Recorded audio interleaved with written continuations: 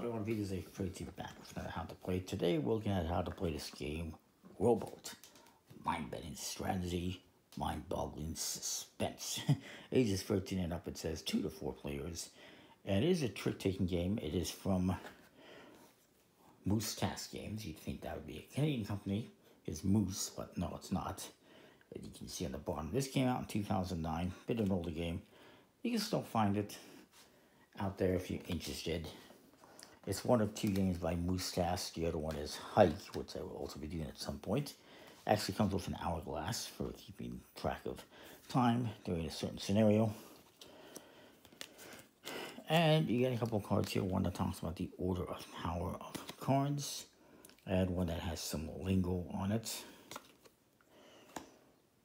And then you got your deck of cards. It's a fairly normal deck of cards. You got numbered cards in four suits between 2 and 9. And then you got some other cards, which I'll go over. And the suits you got, by the way, are the sea cells, the cells, the oar, or paddle, wave, and the sun. Or, sorry, not the sun, the star, the compass star, basically. I guess is what those suits are. They specify what they're called. Okay, oars, waves, sails, and maps is what it is. Map, not a star. And the, the other cards you get, you get this card. You might think it's an ace. It's not. It's an anchor. See, anchor. It is the lowest card in the game. It's a one. And then you got these cards. The dolphin, the mermaid, the seeker, and the whale. And their strength uh, is alphabetical, so D is the lowest. It's basically the 10. It's basically a jack, a queen, and a king. So all you have to do is remember your alphabet, your ABCs, and you'll know which one is stronger. You'll know the S is stronger than the D, the M is not as strong as the W, etc., etc. You also got these other special cards here. The rowboat, the moon, and the lighthouse. And each player is going to get one of these sets if you're doing two players, or you each get a set. If you're doing four players, you're going to be playing in partnerships, so each team gets a set. And if you're doing three players, each player gets a set as well. And these cards have different abilities.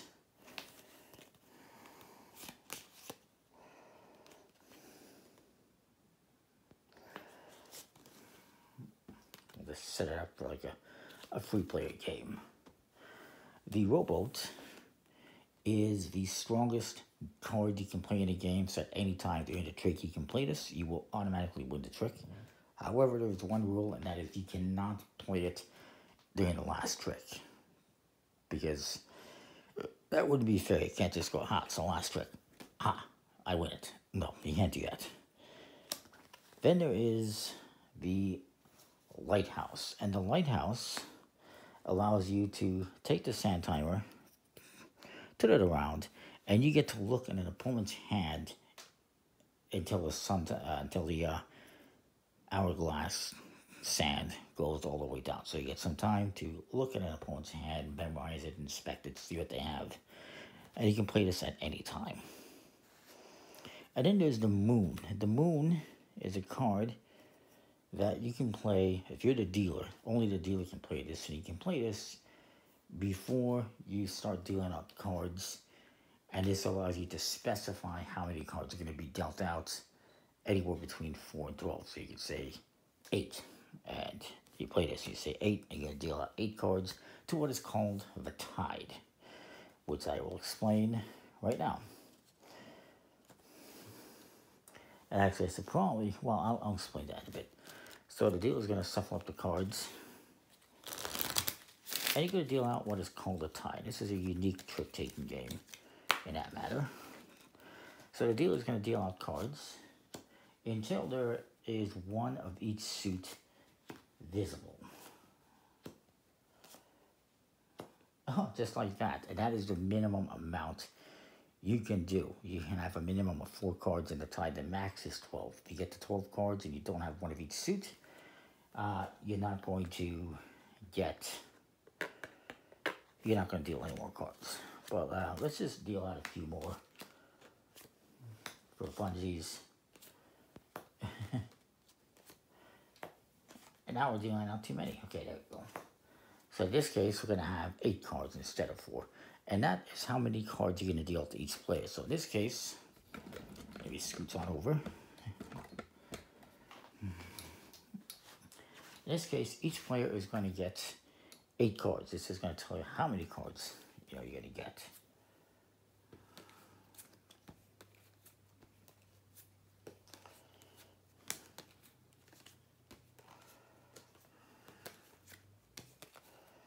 The rest of the cards go aside, so there's definitely going to be cards that you're not going to know what they are that are not going to be in the game.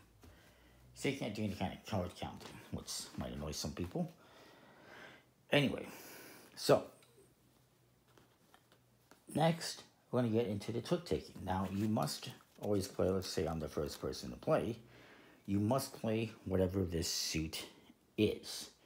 So the first round has to be the waves and that is the trump suit. Now, if you must play that, if you have, if you don't have, you can play something else with one other exception. So I'm going to play the 7.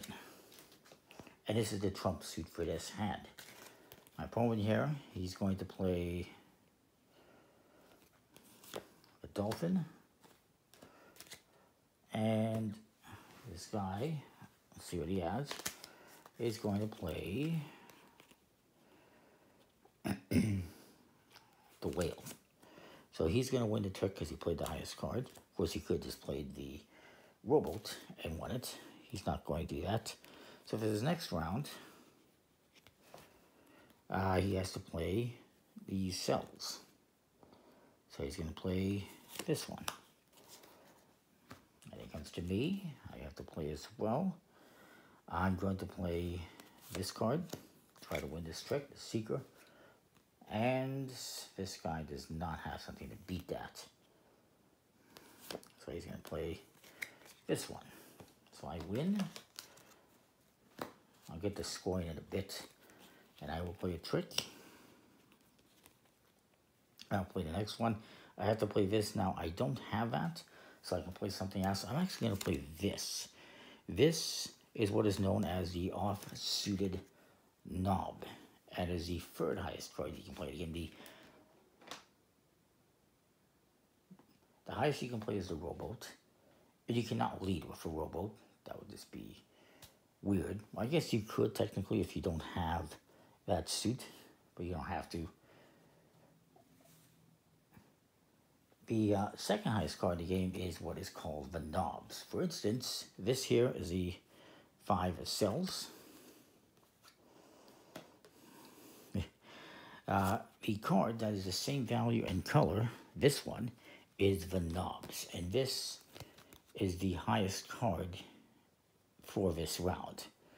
So he's going to win that trick when it comes to that, for what it's worth. And actually, is that where we're at right now? No, we're on right, this one.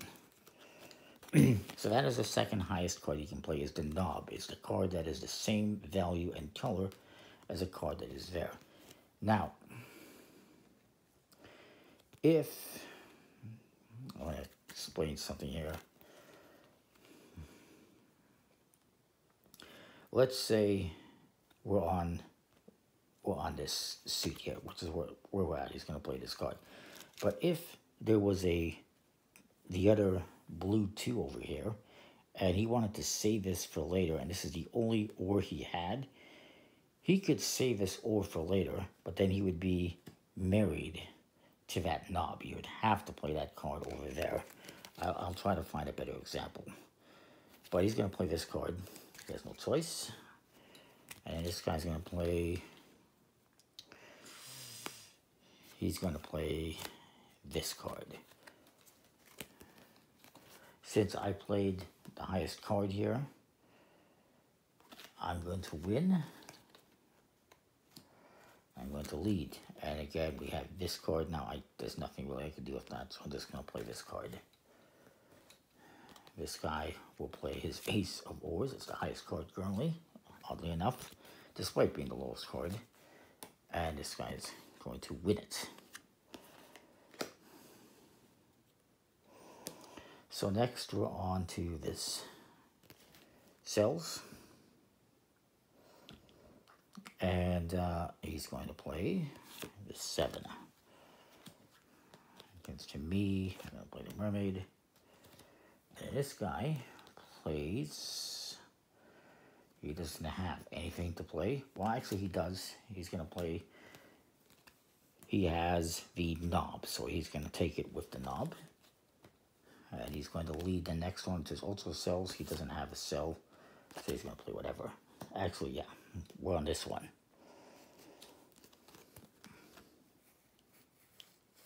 And I can't recall if you collect these as well when you win the tricks. I believe you do. But we'll just leave them there for the, point, for the moment. So uh, this one is cells. This guy doesn't have a cell. So he's to play this. And it comes to me. I do have a cell, so I will win. The next one is the oars. I do not have an oar, so I'll play this, this one.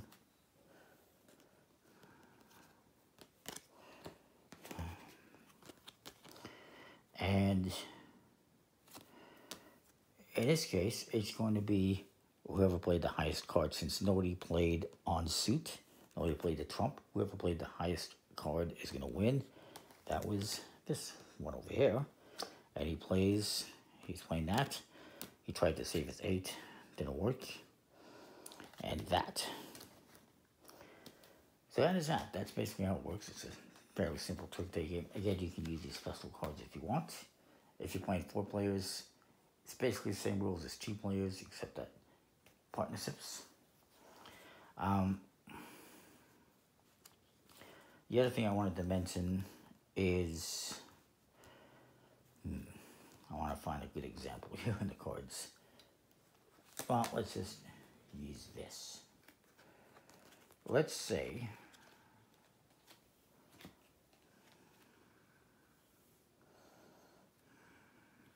for an example, that this card is over here. And let's just say that this player only has, he has this five and he has some other cards left. But he doesn't have anything for this suit. Or maybe he does, actually, sorry. So let's just put it this way. We got this card here. It is the map suit. And he has this five of maps. And since it's must follow, he has to play this card. However, since this is a knob to this card, he can actually save it for later on and marry it to the knob. And he has to, no matter what, play it at this point in time. It's a commitment, basically, like getting married. That's what's called married to the knob. uh, and then he would just play some other card. So this is the only time, the only way you can avoid playing this Trump suit if you have a card that is at that Trump suit. If that's the only card you have and it's a knob for later on and you want to save it for that, you can do so. You must play over here and then you can just play something else over here. So I just wanted to explain marrying the knob. I believe that covers that. Um,